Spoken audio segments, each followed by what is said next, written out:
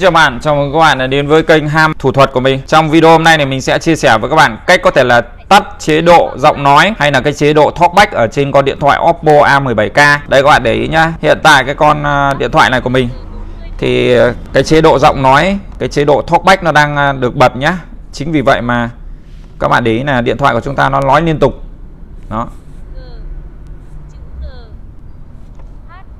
Đó các bạn không thể nào sử dụng được uh, điện thoại của chúng ta nhé. Khi mà các bạn uh, vuốt uh, cảm ứng như này thì uh, điện thoại của chúng ta sẽ nói liên tục. Đó để chúng ta có thể là mở được khóa thì chúng ta phải sử dụng hai ngón tay để chúng ta vuốt này. Đó.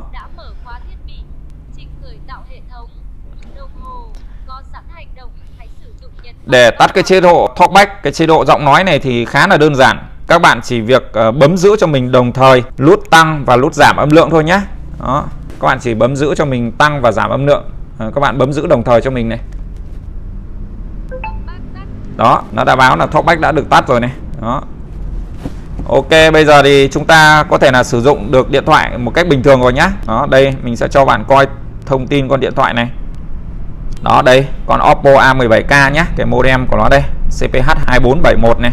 Ok như vậy là video này mình đã chia sẻ với các bạn cách có thể là tắt được chế độ giọng nói hay là cái chế độ talkback ở trên con điện thoại Oppo A17k thành công rồi nhá. Mình sẽ dừng video này tại đây. Nếu các bạn thấy video này của mình hay và hữu ích thì hãy bấm đăng ký kênh để theo dõi những cái chia sẻ tiếp theo của mình. Còn bây giờ, xin chào và hẹn gặp lại các bạn ở những video tiếp theo của mình nhé.